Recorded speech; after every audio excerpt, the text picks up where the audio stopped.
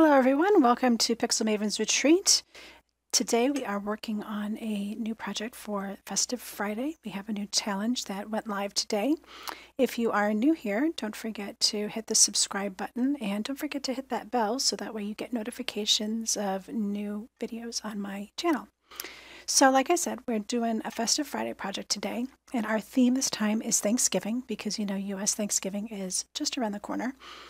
And all of our inspiration items from the inspo list are all based on the, th theme of Thanksgiving. So the four items that I picked from the list uh, are leaves, gold, a thankful theme, and the color cranberry. So I did pick four items. Um, of course, you only have to pick three, so you can choose three, create a project, and link up with us for this current challenge. So the great thing about this particular project is I was inspired by the last challenge where one of the items was use your scraps.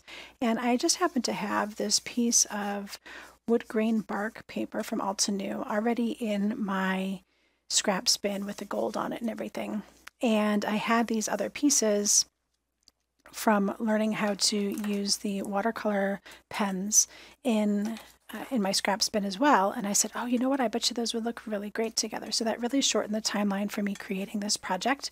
And uh, it worked great for Festive Friday. So I'm going to show you how I put this all together. Okay, so we're going to be using the Dearest Friend stamp set, and it has all of these beautiful floral pieces as well as some really great sentiments. And it does come with a coordinating die set, so you can cut all of these pieces out super easy. And I just really love the way that this comes together with everything in one set. So fortunately, I had another piece of this wood grain bark and I had the gold already on it. So I pulled this out of my scraps bin and then I pulled out some of that apple red cardstock. So we can go ahead and stamp this stuff up and get it heat embossed. So I like to have a Sizzix sticky sheet in my stamp positioner because that helps keep this in place. Now it's not as sticky as it could be. I probably really need to replace it. Um, but it really does a good job of keeping small items in place. And that means too that you don't need to have your um, magnets like everywhere because the stickiness helps to keep things really just where you want them to go. So I already have the sentiment in here. I have it nice and lined up. And I'm going to be stamping it using the antique gold pigment ink. And the reason I'm doing that is because I want to make sure that the sentiment looks nice and crisp and you know sometimes you can't see it with the embossing ink. And of course the pigment ink works just as well.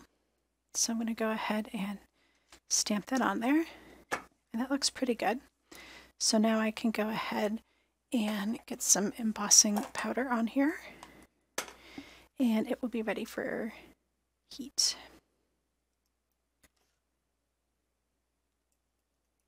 Okay, so that one is ready to go. I'm going to just set that aside while we do the other stamping since it's also getting gold embossed. Um, may as well get it all done at the same time. So pop this guy in here. And the sentiment is going to go right in the bottom corner. So I'll do the thank you. And I need to have room for the sentiment strip.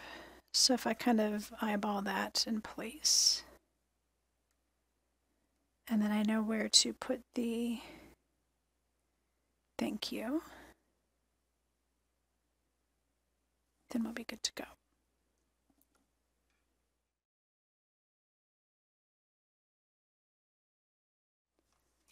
So I'll be using the gold again to stamp this one. And the reason this time is the same. I do want to know that I have a really good impression, but when you're working with this textured card, you really, really, really need to make sure that the ink gets in all the nooks and crannies.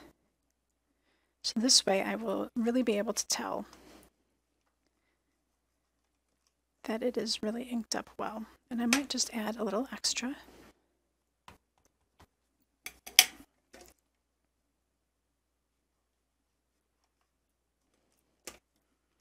That's good.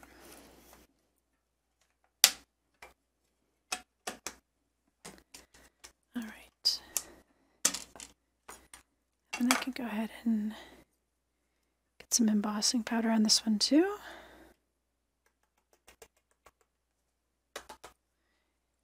And now both pieces are ready to be heated up. All right, now that both of those are heat embossed, I can go ahead and add them to the card base and then they'll just be ready for the flowers when they are finished. So, and add some liquid adhesive to the back here. And get it up in the corner. Since it's going across the whole sheet, I like to make sure that I match it up in the upper corner where the fold is. And bring it down and across.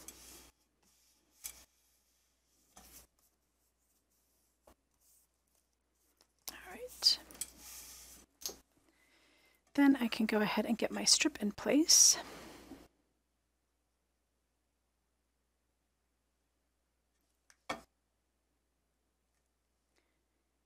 And I want to have the sentiment lined up right underneath. If it doesn't go all the way across, like this time it's not going to, mm, that's all right.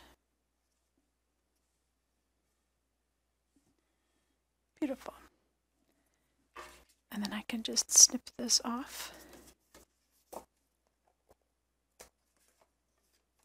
And the card base is ready to go. Actually, this looks like a great card without the flowers, but I think we'll add the flowers anyway. Okay, so now I just need to go ahead and stamp so that way I can start working on the watercoloring. And to achieve that no line watercoloring effect, I'm going to stamp with Morning Frost. So I just need to grab my pieces here. I'm using all three of the leaf pieces and the small flower arrangement.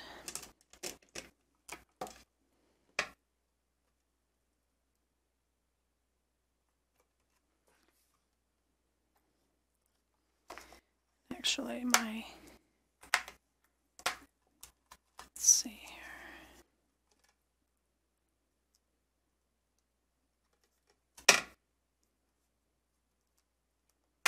There we go.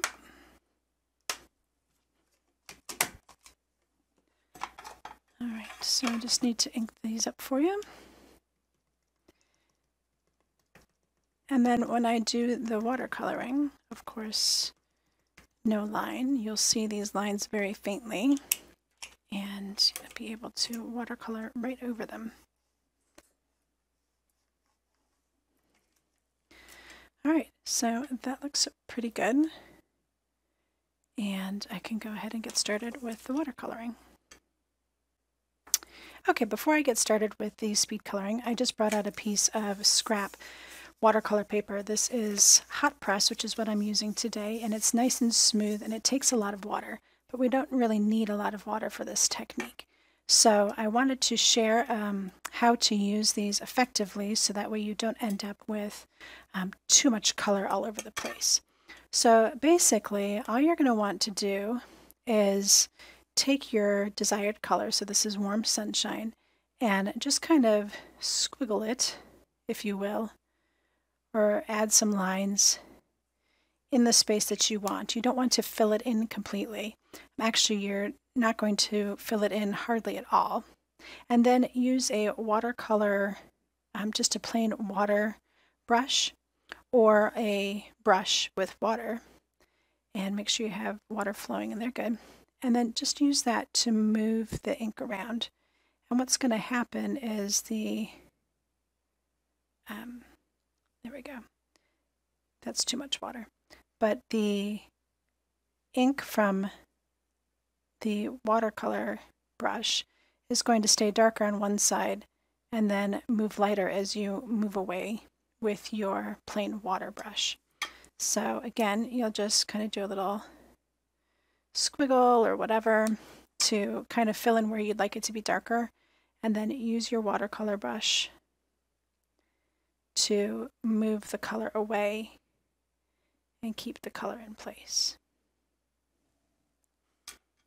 All right, so let me do that with a darker color just to show. Here, I'll do it with the Rubelite because that's a nice dark color. So again, you're just going to kind of fill in a space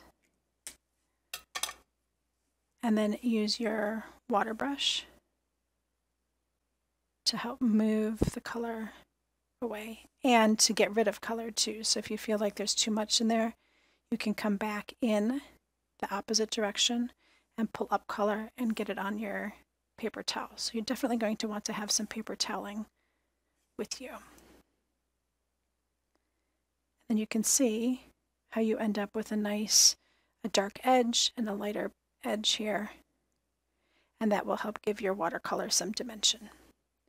Okay, so let's move on to the actual project and I'll see you on the other side for assembly.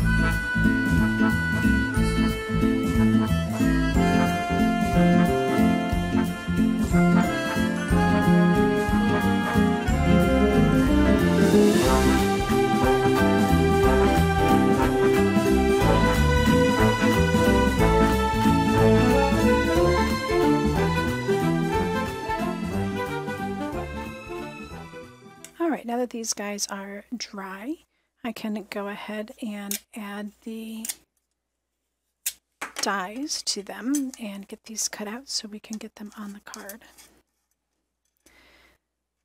Okay, so I've got my pieces all die cut and they look just gorgeous. And now it's just about arranging them and making them look really nice with the sentiment. So if I go along my original lines here, kind of liked that.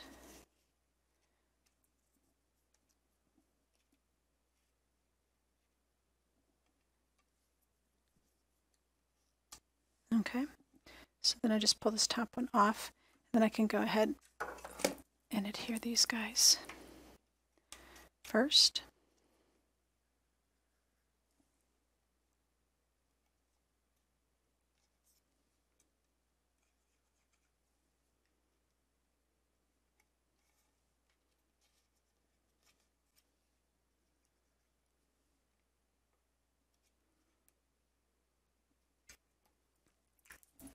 And then I'll just use some foam adhesive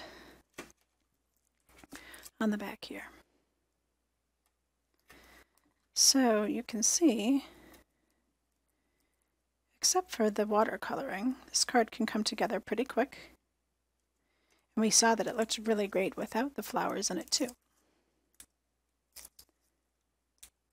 So there's lots of things that you could put in this space that would look really, really pretty and would work well with the wood grain background and the thank you sentiment. So just pop this guy on here. And there you go. Thank you so much for joining me today. I hope you learned a few tips and tricks that you can add to your crafter's toolbox.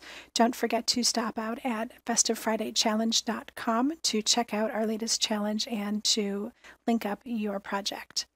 I will be back again soon with more videos, but until next time, happy crafting.